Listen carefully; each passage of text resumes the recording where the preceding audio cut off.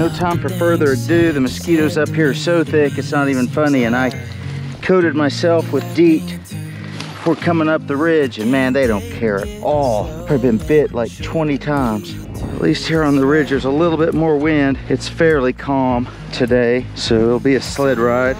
Had a stressful day at work today. I needed the exercise, so if your site has grass, thank the people that maintain it, because that'd be really nice.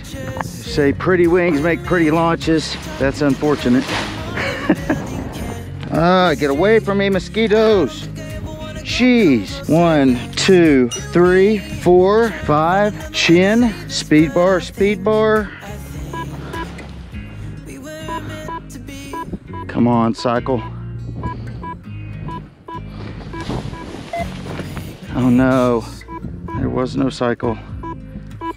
I tried to cheat and give myself a little bit more room so I wasn't just walking off the edge of a cliff going backwards. All right, this has to be picked up, directly up. See, and that's how you pick up free riders, just by doing that.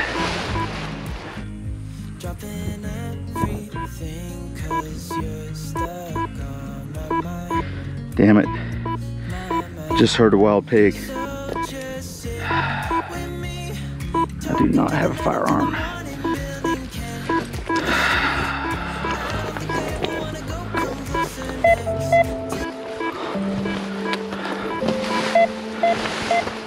Wonder where he is.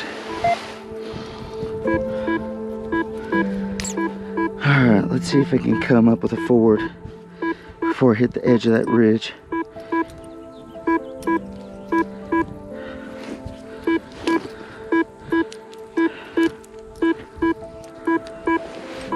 Let's wait for a cycle.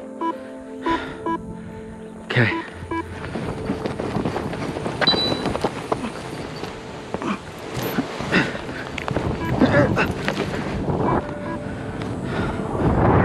Oh, that was ugly.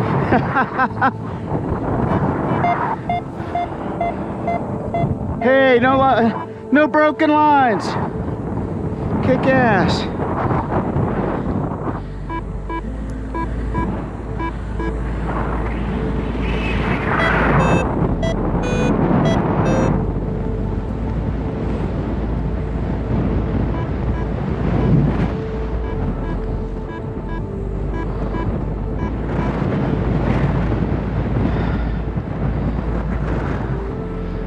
Not gonna make it even close to my LZ. So I'm gonna put it down right on top of this ridge. I'm gonna top land it.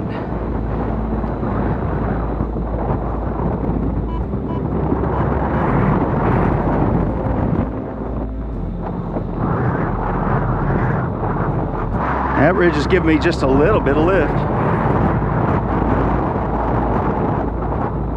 Great. It's not what I wanted.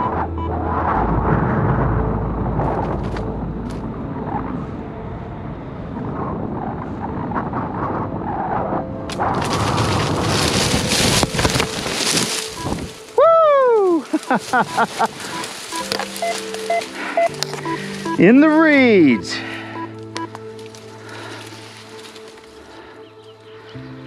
Yeah, I thought it might have been coming a little high for that, but I knew I had a safe place to land past it. It's just in the breeds.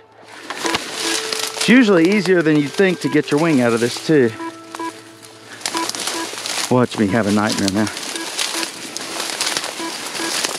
Kind of wanted off of that damn ridge once I heard that pig. Maybe I should carry a firearm out here.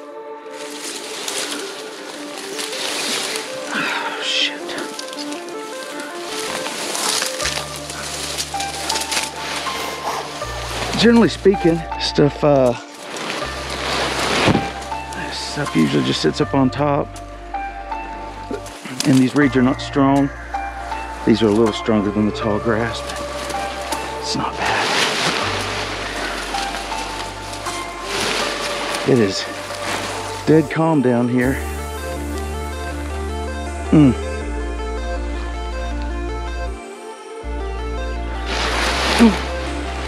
Damn. Got thorns in me. All right, I'm dragging this out.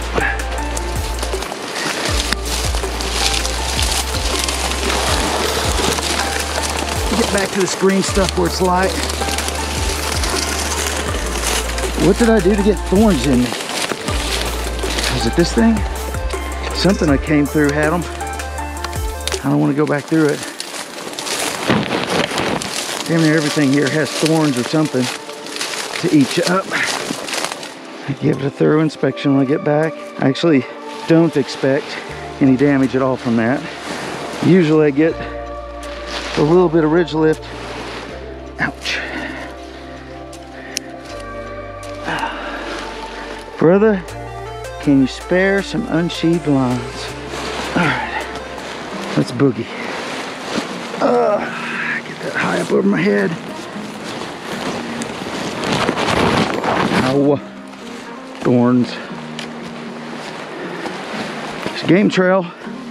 Probably a pig on the other side of this damn thing.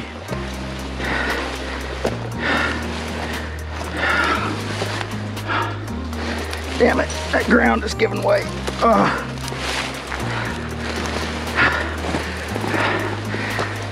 I think take the parking lot's on the other side of this ridge, get my keys, and uh, go pick the car up. Freaking been down in these places I don't know how many times with guns, and I haven't seen a pig down here. Sure enough, damn pigs rooting around. I'm down here paragliding. Generally, they stick these farmers' fields a little bit more. There's a lot of water down here though, so that's probably it. Oh, that's right. I know why they're here.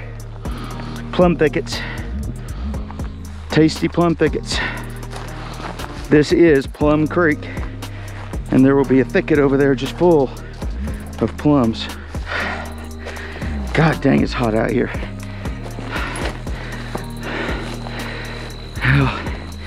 Thank goodness this isn't the plum thicket. The reason I don't fly this way is if I'm short, it's all these trees. And the way that I would probably never be short, there's a power line in the way. Note to self, take bug spray, high level disturbance, cirrus clouds. If I get out to the middle of this parking lot, I'll only bring the mosquitoes that I came with. Air is katabatic. Unfortunately, it's not very much cooler. Get my wing before it gets dark. I don't want to come back out here tomorrow morning. I have made that ridge work, and even with the wind that it was, should have worked better than how it did. I usually get lift for at least a few seconds after launching, even in a light wind. Ow. Hmm. Well, that's what's injured, is my hand. It's full of cactus. Oh. Must have touched one on the way down. Hmm. I gotta get my wing. Can't mess with cactus at the moment. Damn. Usually really good at avoiding cactus. I'll usually get a little little scritch in me, but not like that. Oh. Thought I might do a kind of a post-flight debrief. So many cactus. That didn't go like I wanted it to. The wind was a little bit too much out of the south to fly the normal pattern that I'm used to coming down off that ridge. And I'm not gonna lie, I'm used to having more wind. I had a forward launch, so I knew it was gonna be light, and I wasn't sure I'd make the LZ.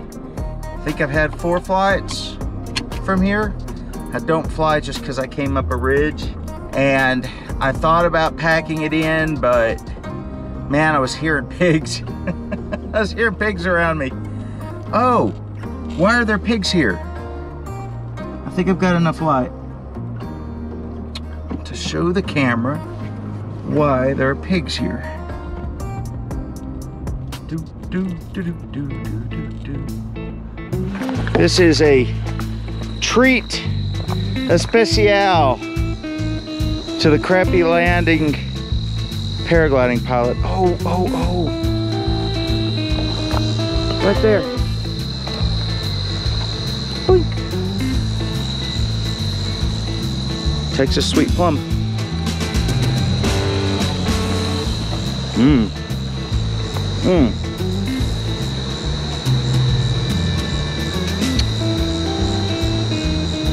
Wow. That one was actually stronger. A little bit more bitter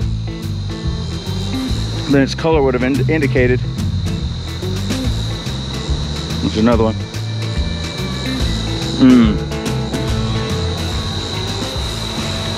That one was super sweet. I tasted like a pear you'd buy at better, like a hundred times better than a pear you'd buy at the store.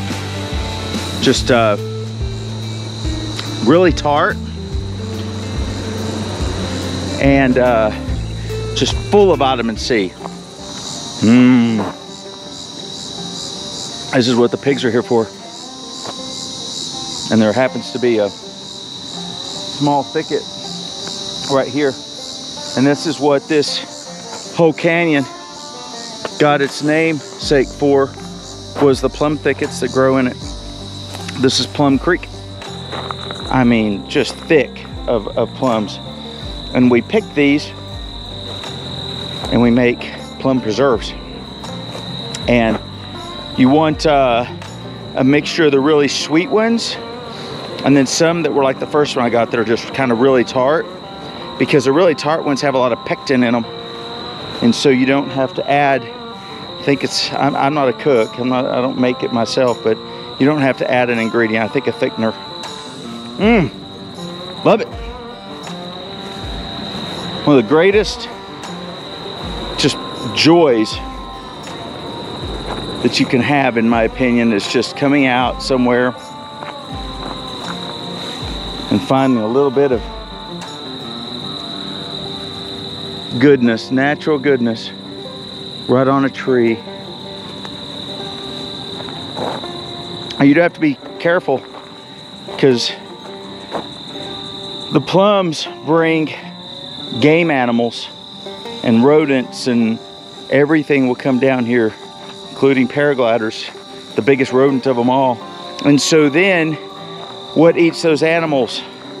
Rattlesnakes, pigs. Pigs actually eat rattlesnakes. pigs also eat berries. Pigs will eat just anything, right? If, if they want to. They'll eat, they'll eat paragliders. That is, that is a pest that the pigs will eat. Well, I didn't get quite as many plums. This is a very popular little spot because it's right next to the road. You don't have to hike out anywhere. Um, but yeah. So, a couple plums there.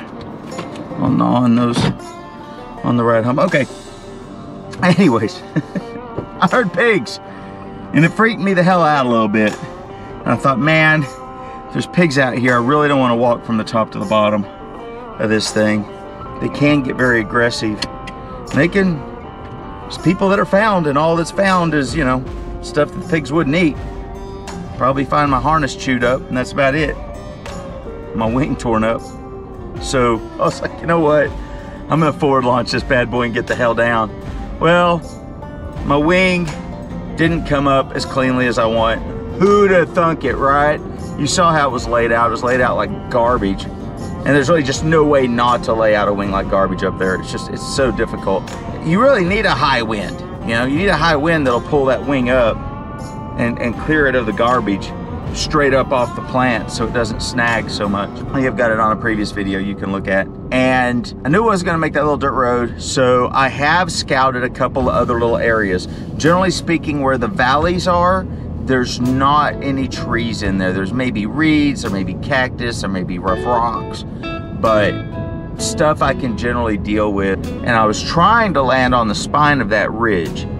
And I think in retrospect, the what I should have done is I should have held brake pressure to slow myself down. Um, so I would have come down on that ridge. It would have been a beautiful landing had I landed on that ridge, just top landed that tiny little ridge but I didn't. Um, I'm usually cautious to keep my airspeed up, gives me options. And so the that little tiny ridge is like, gosh, what looked like it was 10 feet tall was enough to keep me up off of it. And uh, so I went ahead and got to the bottom of that little ravine, hung a left, and went went into the reeds. The reeds aren't dangerous, right? They're just reeds. Um, I don't think it hurt my wing at all. If anything hurt the wing, and, and this is another mistake, and I won't do this again, it would have been that I was carrying the wing out uh, and the camera was dead, but um, every once in a while, I, and I tried to ball that wing up with all the lines onto the inside and get it in a tight ball and carry it out. But every once in a while, something would snag a line and pull it out, and I'd have to stop and push the lines back in, and that could have possibly uh, that could have possibly damaged the wing. Um, if anything damaged the the lines, it would have been the snaggy stuff on the walk back. Next time I fly, I will take a stuff sack in order to pack everything up. I will carry off. Uh, I left my bug spray in the car. I coated myself real good, but by the time I got to the top, I had sweat and it had washed all of that bug spray off of me, and I got absolutely destroyed. I'm really not upset about my landing. You know, it'd be it'd be you know, I, am not I'm not here to beat myself up. I, I would say the launch was kind of yucky. The the wing kind of caught a little bit of a gust and shifted over to the left. I wish I had a 360 camera so I could have seen exactly what it did when it came up because it felt like it was over over my head just fine and then all of a sudden it shifted over to the left and pulled me off the ridge to the left. I didn't trip or anything and again once that wing got loaded it's gonna fly so you know it, it's gonna it's gonna take off. Ow! Mm. Man, I got lots of cactus plucking to do. I didn't think it got into my palm, but I keep feeling needles in my palm. It is what it is. Uh, these are learning experiences. I'll document this. I've decided to start a little website just to just to keep kind of a flight log and log the things that I learn and if I make a mistake or learn something I, will have it there I'm going to try and model it off of Southwest Air Sports. Uh, Had is a pioneer in Texas. He is a paragliding instructor and he is up in the Poto Mountain region. Just a really good guy. If you paramotor or paraglide, definitely definitely check out Had's Had's site, Southwest Air Sports. It's wonderful. Thanks for watching. Peace.